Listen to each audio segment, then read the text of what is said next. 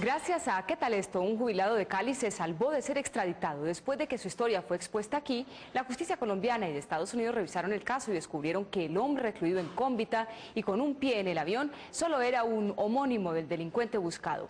Él ya está en su casa, pero hace unos días otro despacho judicial lo llamó a responder por un delito de su tocayo. Ante la terrible posibilidad de volver a la cárcel, volvió a decir ¿Qué tal esto? Antonio Ulises Cortés inició una batalla jurídica contra su extradición desde el 12 de abril del año pasado. Siempre dijo que él no era la persona a la que estaban buscando las autoridades estadounidenses.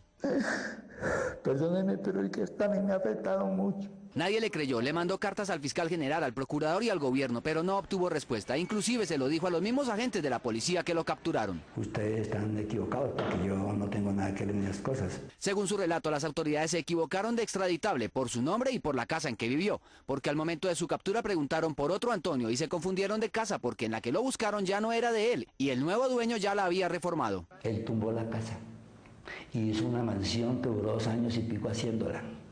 Me imagino que cuando los agentes vieron semejante mansión, es el que estamos buscando. Como si fuera poco en Colombia y más exactamente en Cali le iniciaron otra investigación por los mismos hechos y con base en la solicitud de extradición. Dios mío, ¿a mí quién me ha metido a mí en esto? Porque yo no he hecho nada. Sus amigos del barrio Chiminango en Cali confirmaron su versión. Ellos no creyeron que este pensionado del Banco Popular de Cali, quien estaba tramitando su jubilación cuando fue detenido, fuera la mano derecha de Wilmer Varela, alias Jabón. Aquí en este país primero se, se, detiene y después se, investiga. Después de que su historia fue contada en ¿Qué tal esto? Oficiales antinarcóticos de la Embajada de Estados Unidos en Colombia y el fiscal general de la Nación, Mauri Guarán, revisaron su caso y determinaron que Antonio Ulises dijo la verdad. Y al verificar que el narcotraficante buscado era otro, la Fiscalía en Estados Unidos declinó su solicitud de extradición y ordenó su libertad. Mi hijo pues no creen yo tampoco de la felicidad que nos embargó. Tras recobrar su libertad, regresó Álvaro Siminango en Cali. Todavía no podía creer que estaba en casa. Eso fue una gran alegría, ¿no? La, la de la libertad. Días después, Antonio empezó a rehacer su vida, a recuperar los 11 meses que perdió en la cárcel de máxima seguridad de Cómbita por una equivocación, reanudar el trámite de su jubilación y su deporte favorito. Voy a seguir, si Dios quiere, hasta donde Él me lo permita, haciendo mi deporte, mi, ciclismo. Pero cuando Antonio Ulises se salvó de ser extraditado injustamente y pensó que ya había terminado su vía crucis, fue citado a la Fiscalía Especializada en Cali por un proceso que le iniciaron por lavarle activos a los narcotraficantes por los que fue capturado con fines de extradición. En el mismo momento en que Estados Unidos cancela mi extradición, automáticamente debía haber sido precluido de, ese, de esa cuestión de acusado de lavado de activos. Y no lo ha hecho. No sé por qué. Como sigue vinculado a la investigación que le iniciaron en Colombia, no puede salir de Cali por temor a ser capturado nuevamente. Ahí me por acostarme en el río, en fin, lo que sea.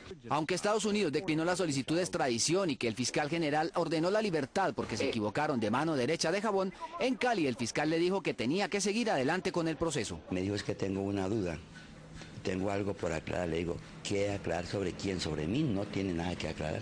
Esta semana, cuando fue nuevamente a insistir en que debían precluir o archivar su caso, se enteró que el fiscal en Cali ordenó enviar su proceso a Bogotá.